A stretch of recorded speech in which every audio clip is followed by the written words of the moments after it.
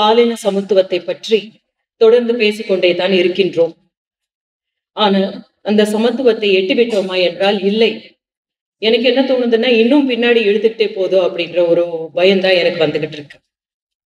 இந்த பாலின சமத்துவம் அப்படின்றது யாரு பேச வேண்டும்? அப்படின்னா முதல்ல பெண்கள் பேசிக்கிட்டு இருந்தாங்க. இப்ப ஆண்களும் பேச வேண்டும் என்று நம்ம சொல்லிக்கிட்டு இருக்கோம். இது அனைவரும் சேர்ந்து பேச வேண்டிய ஒரு விஷயம். மிக முக்கியமாக ஒரு வீட்டுக்குள்ள வேலைக்காரியா போகிறதுக்காக குழந்தை ஒரு பெண் குழந்தை பிறந்ததுல இருந்து ஒரு ட்ரைனிங் சென்டரா தான் ஒரு குடும்பம் செயல்பட்டுக்கிட்டு இருக்கு.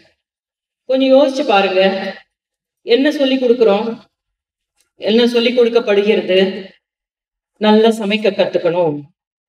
ம்? வீட்டை பராமரிக்க கத்துக்கணும். அதுக்கப்புறம் எல்லாத்தையும் சரியா அனுசரிச்சு போகணும். இதெல்லாம் என்னதுக்காக? அவளுடைய மேம்பாட்டுக்காக அப்படின்னா கிடையவே கிடையாது. அது அவ போக போற அந்த வீட்டினுடைய வேலைக்காரியா இவ்வளவு அனுப்புறதுக்காக ஒரு ட்ரைனிங் சென்டர் அதுதான் வந்து நம்மளுடைய குடும்பங்கள். அதனுடைய பெரிய ட்ரைனிங் சென்டர் தான் வந்து நம்மளுடைய சமூகமும் இருக்கு. ஏன்னா இது எதையுமே செய்யலைன்னு வச்சுக்கோங்களேன். என்னது இது? சமைக்க கூட தெரியலையா? என்ன சொல்லி கொடுத்தாங்க உங்க அம்மா? உடனே அம்மாவை தான் ஏன்னா அப்பாவுக்கு சமைக்க தெரியாது தெரியும். சமைச்சிருக்கவே மாட்டாருன்னு தெரியும். அதனால அப்பாவை குறை சொல்லவே முடியாது. என்ன? அதே மாதிரி அதே மாதிரி ஆண் பிள்ளை என்ன செஞ்சாலும் கூட என்ன சொல்றாங்க? அம்மா எப்படி வளர்த்திருக்காங்க? ஒரு நல்ல அம்மா இருந்தா எத்தனை பாட்டெல்லாம் கேட்டிருக்கோம் இல்ல ஒரு குழந்தை நல்லா இருக்கிறது தாயின் வளர்ப்பிலே அப்படின்னு. அப்ப தந்தை என்ன செஞ்சுக்கிட்டு இருந்தாரு அப்படின்னு அதுலயே தெரியுது. ஒரு வளர்ப்புல வந்து அவருக்கு எந்த பங்கும் கிடையாது. அதனாலதான் பாட்டுல கூட அவருக்கு அந்த எந்த பங்கும் இல்ல. சோ இந்த நல்லது கெட்டது அப்படின்னு வீட்டுல பாத்துக்கிறதுக்காக ஒரு ட்ரைனிங் சென்டராக ஒரு வீடும் அந்த பெண் குழந்தைய அனுப்புறா அப்படின்னா அந்த போன வீட்டுல அந்த அந்த பெண்ணுக்கு வந்து எந்த மாதிரியான சூழல் இருக்கு? அப்படியே வேரோட பிடுங்கி கொண்டு போய் இன்னொரு இடத்துல அந்த அந்த குழந்தைய கொண்டு போய் விடும்போது உடனடியாக அவ வந்து எல்லாரையும் அனுசரிச்சு போகணும். யாருக்கு எது தேவையோ இவங்களுக்கு தேங்காய் சட்னி வேணும் அவங்களுக்கு வந்து புளி இல்லாம போடணும் இல்லைன்னா சர்க்கரை இல்லாம போடணும் இல்லைன்னா அந்த மாதிரியான ஒரு வகை வகையா சமைக்கிறதுக்கான ஒரு சமையல்காரியா அவ செயல்பட்டுதான் ஆகணும். இல்லைன்னா என்ன? உடனே குறை சொல்றது யாரு? அதே வீட்டுல இருந்து அதுக்கு முன்னாடி இதை எல்லாத்தையும் அனுபவிச்ச அந்த அத்தை தான் வந்து சொல்றாங்க. ஏன்னா அந்த மாதிரியான ஒரு மனநிலைக்கு கொண்டு வந்துடுறாங்க எல்லாரையுமே. சோ இந்த மாதிரியான ஒரு இடத்துல வன்முறை அப்படின்றது வந்து வெறும் கண் பார்வையிலே சொன்னாங்க. பாலபாரதி தோழரை வந்து சொன்னாங்க. கண் பார்வையிலேயே. இதுதான் வந்து நம்ம எல்லா இடத்துலயுமே சந்திச்சுக்கிட்டு தானே இருக்கோம். கண் பார்வையில அப்படியே தூளுரிச்சு பாக்குற மாதிரியான பார்வைகளா இருக்கட்டும் அப்படி இல்ல நீ ஏதாவது வேலை செய்யல அப்படின்னா வீட்லயே அப்பா அப்படி பார்ப்பாங்க. அப்பா முன்னாடி போய் சத்தம் போட்டு பேசக்கூடாது அப்படின்றதுல இருந்து ஆரம்பிச்சு. சோ கண் பார்வையிலேயே வந்து ஒரு ஹஸ்பண்ட் அவளுக்கு சொல்லி கொடுப்பாரு இங்க இருக்கக்கூடாது அப்படின்னு. ஒரு மாமனாருக்கு முன்னாடி ஒரு மருமக உட்காரக்கூடாது. இதுதான் நடந்துகிட்டு இருக்கு. நிறைய வீட்டுல அதுதான் நடந்துகிட்டு இருக்கு. நம்ம இருக்கிற ஒரு சின்ன ஒரு இந்த ஒரு ஒரு சில வீடுகள் மட்டும்தான். ஒரு முற்போக்கான சிந்தனைகள் இருக்கிற வீட்டுல மட்டும்தான் ஒரு பெண்ணுக்கான நிலை என்ன பெண்ணுக்கான உரிமைகள் என்ன என்பதை சாத்தியப்படுத்தி கொண்டிருக்கிறார்கள். ஆனா முக்காவாசி இல்ல தொண்ணூறு சதவிகிதம் வீடுகள்ல இதுதான் நடந்துகிட்டு இருக்கு. மாமனார் முன்னாடி உட்காரக்கூடாது மாமனார் சாப்பிடறதுக்கு முன்னாடி சாப்பிடக்கூடாது கணவன் சாப்பிடுறதுக்கு முன்னாடி சாப்பிடக்கூடாது. அவங்க சாப்பிட்டு மிச்சம் வச்சா எது இருந்தா அதை சாப்பிடணும். அவளுக்கு பிடிச்சது அவளுக்கு செஞ்சுக்கிறதுக்கான டைம் அவளுக்கு இருக்காது. அப்போ என்னன்னா வந்து அவளுடைய பிறந்ததுல இருந்து அவளுக்கு என்ன மாதிரி படிப்பு வேணும் என்ன மாதிரியான வாழ்க்கை வேணும் இந்த வாழ்க்கை கல்யாணம் வேண்டுமா வேணாமா அப்படின்னு தீர்மானிக்கிற உரிமை கூட ஒரு பெண்ணுக்கு எப்பவுமே தரப்படாதது மாதிரியே ஒரு குடும்பத்துக்குள்ள போனதுக்கு அப்புறம் அவளுக்கு எதிரான வன்முறைகள் தொடர்ந்து கொண்டேதான் இருக்கிறது. சமூகமே தொடர்ந்து செயல்படுத்துகிற ஒரு வன்முறைன்னு தான் நான் சொல்றேன் குடும்பத்துல மட்டும் கிடையாது. அந்த குடும்பம் அதை செயல்படுத்துகிறது என்றால் சமூகத்தில் அது அனுமதிக்கப்படுகிறது ஆமோதிக்கப்படுகிறது அதை ஏற்றுக்கொள்ளப்படுகிறது என்பதுதான். இப்ப சொன்ன மாதிரி ராத்திரி என்ன அடிச்சிட்டாருமா அப்படின்னு சொல்லும் போது அது சர்வசாதாரணமா எடுத்துக்கிறது. அடிக்கிறது. அதே மாதிரி யோசிச்சு பாருங்களேன் நம்ம வீட்டுல இருக்கிற ஆம்பளை ஏதாவது பிரச்சனை பண்ணிட்டாரு அப்படின்னா இவங்களுக்கு பிடிக்கல அப்படின்னா இவங்க அடிச்சிட்டாங்கன்னா எங்க போய் நிக்கும் அது? எல்லாரையும் ஊரை கூட்டி உடனே என்ன மாதிரியான பெண்ணை நீங்க பெ- பெத்து வச்சிருக்கீங்க? எதுக்காக அனுப்பிச்சிருக்கீங்க? உடனே அவளுக்கு அங்க வந்து இடம் இல்லை. இந்த குடும்பத்துல அவளால வாழ முடியாது. சரி தனக்கு எதிரான வன்முறைகள் நடந்து கொண்டிருக்கிறது என்பது ஒரு பெண்ணால பேச முடியும்னு நினைக்கிறீங்களா? கிடையவே கிடையாது. பேசவே முடியாது. ஒரு நாலு செவத்துக்குள்ள அவளுடைய வாழ்க்கை இதுதான் இது உன்னுடைய வாழ்க்கை. இதற்காக நீ எதை வேண்டுமானாலும் பொறுத்து கொண்டுதான் ஆக வேண்டும். உன்னுடைய குடும்பத்துக்காக உனக்காக உனக்காக கிடையாது. உன்னுடைய குழந்தைகளுக்காக. அதுக்கப்புறம் நீ புகுந்த வீட்டுக்கு வந்துட்ட இல்லையா? அந்த புகுந்த வீட்டுக்குன்னு ஒரு மரியாதை இருக்கு இல்லையா? அந்த மரியாதை எல்லாத்தையும் காப்பாத்துற ஒரு பெரிய பெரிய பொறுப்பு இந்த பெண்ணனுடைய தலையில தான் இருக்கு. அப்ப இத எல்லாத்தையும் வெளியே சொல்லிட்டா என்ன ஆயிடும்? சொல்ல முடியாத அளவுக்கு இந்த நாலு செவத்துக்குள்ள அவளுடைய வாழ்க்கையில எவ்வளோ பெரிய போராட்டத்துக்கு பிறகு ஒருவேளை ஒரு தடவை அவ பேசிட்டா அப்படின்னா பேசினதுக்கு அப்புறம் அவளுக்கு இருக்கிற வாழ்க்கை எப்படிப்பட்டதாக இருக்கும் அப்படின்றது நமக்கு எல்லாருக்குமே தெரிஞ்சதுதான். நீ எப்படி சொல்லலாம்? சொல்லிட்டு வந்ததுக்கு அப்புறம் அவளுக்கு இருக்கிற ஒரு நிலை என்ன? இவை அனைத்துமே உண்மை. உண்மைகள்.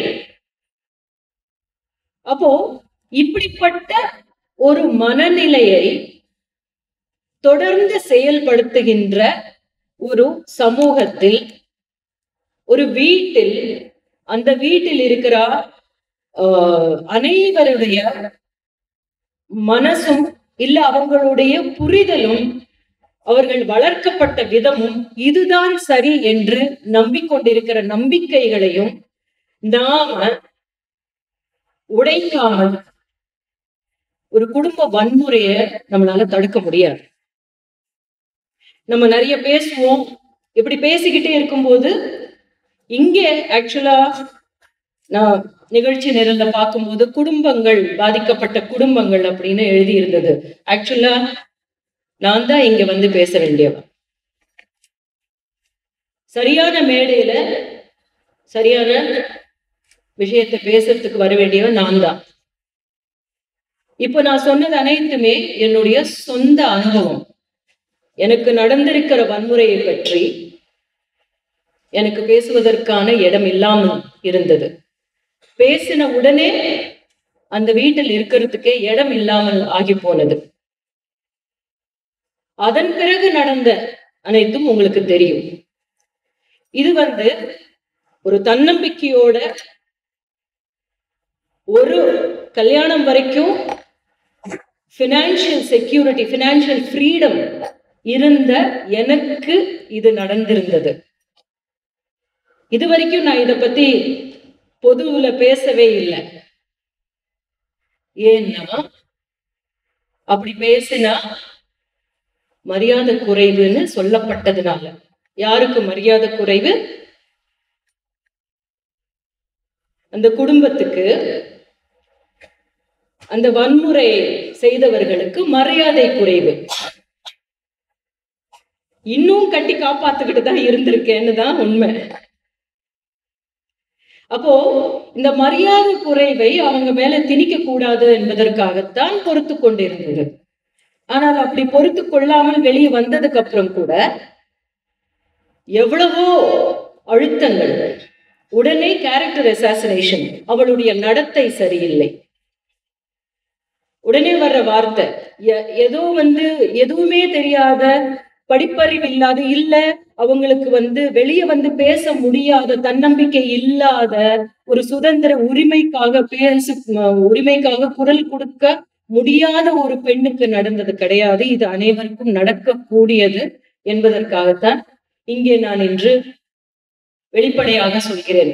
அப்படிப்பட்ட ஒரு குடும்ப வன்முறை சூழலில் இருந்து ஒரு பெண்ணுக்கு நாம் கொடுக்க வேண்டியது என்ன என்பதை பற்றி நாம் யோசிக்க வேண்டும். அதுக்கப்புறம் வந்து நிறைய தாக்குதல்களை தாண்டித்தான் வந்திருக்கேன். அப்போ ஒரு வீட்டுக்குள்ள அந்த நாலு செவத்துக்குள்ள ஒரு பெண்ணுக்கு நடக்கிறத அந்த பெண்ணே நினைத்தால் மட்டும்தான் அதுல இருந்து வெளியே வர முடியும் அப்படின்ற நிலைமை நிலைமை தான் நம்ம குடும்பங்கள்ல இருக்கு. அதுல பெருமைப்படுறதுக்கு ஒண்ணும் கிடையாது. அது பெருமை இல்லை. அந்த பெண்ணே நினைக்க கூடிய ஒரு கட்டத்துக்கு அவளால போக முடியும்னு நினைக்கிறீங்களா? எத்தனை பேருக்கு அவ்வளவு தைரியம் இருக்கு? இல்ல. அந்த தைரியமின்மை ஏன்? வாழ்க்கையே ஒரு மிகப்பெரிய போராட்டமா ஒரு பெண்ணுக்கு நாம திணிச்சுக்கிட்டு இருக்கோம் அவளுக்கான உரிமையை அவளுக்கான சமத்துவத்தை அவள் பேசிக்கொண்டே இருக்க வேண்டும் என்கிற நிலைமை இன்னும் நிலவிக்கொண்டே இருக்கிறதுனால தானே இந்த மாதிரியான சூழல் ஏற்பட்டு கொண்டிருக்கிறது. அதைத்தான் உடைக்க வேண்டும் என்பதை நாம பேச ஆரம்பிச்சிருக்கோம் எழுத ஆரம்பிச்சிருக்கோம் ஆனால் செயல்படுத்துவதற்கு என்ன திட்டங்கள் என்பதோ என்ன என்ன செய்யணும் என்பதோ நாம் இன்னும் கொஞ்சம் ஆக்கப்பூர்வமாக மனோதத்துவ ரீதியில நாம பேச வேண்டியிருக்கு. அவை அனைத்தையும் பேசக்கூடிய அதனுடைய துவக்கமாக இந்த மேடையும் இதற்கு முன்பு நாங்கள் பேசிக் கொண்டிருந்ததும் எழுதி கொண்டிருந்ததும் அமையும் என்கிற ஒரு நம்பிக்கை வந்து எனக்கு தந்தது. இந்த கட்சி இந்த மேடைகள் மட்டும்தான்.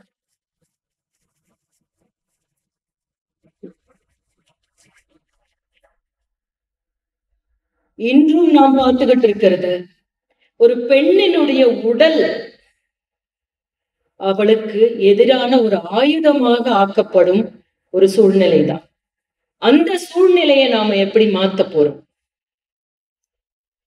நீ குழந்தை பெத்தாதான் இல்லை குழந்தை பெத்துக்கலன்னா இல்லை உனக்கு கல்யாணத்துக்கு முன்னாடியே ஒருத்தரோட உறவு இருக்கிறதுன்னா அது உன்னுடைய விருப்பம். அதை ஏத்துக்கிற மனப்பக்குவம். பெரியார் சொன்ன மாதிரி கற்பு அப்படின்ற ஒரு மனப்பெங்க பெரிய ஒரு விலங்க போட்டுட்டு ஒரு பெண்ணை அடக்கி ஆழ்வதற்கான ஒரு விலங்கு அது. அதை உடை தெரிவதற்கு எப்படிப்பட்ட உரையாடலை துவக்க வேண்டும். எப்படிப்பட்ட திட்டங்களை செயல்படுத்த வேண்டும் என்பதுதான் இப்படி எத்தனையோ மாநாடுகள் நடத்த வேண்டும். நாம போய் பேச வேண்டியது இந்த பெண்களோட மட்டும் கிடையாது. ஒரு குடும்பத்தில் இப்படி நடந்து கொண்டிருக்கிறது என்று நம்ம கண்ணுக்கோ நம்மளுடைய அறிவுக்கோ எட்டிவிட்டால் உடனடியாக அதற்காக அதை மாற்றுவதற்காக நாம என்ன செய்ய முடியும் என்பதை செய்வதுதான். நான் எடுத்து சொல்ல வேண்டி இருந்தது என் பையனை நான் தான் பார்த்துக்க முடியும். உம் அவரால முடியாது அப்படின்னு எடுத்து சொல்ல வேண்டி இருந்தது. எனக்கு அந்த வீட்டுல பாதுகாப்பு இல்லை. நான் சொல்ல வேண்டி இருந்தது. எல்லா பெண்களும் இன்னும் அந்த நிலையில தான் இருக்காங்க. அந்த நிலை மாற்றுவதற்காக இன்னும் அதிகமாக பாடுபட வேண்டும். வாய்ப்புக்கு நன்றி.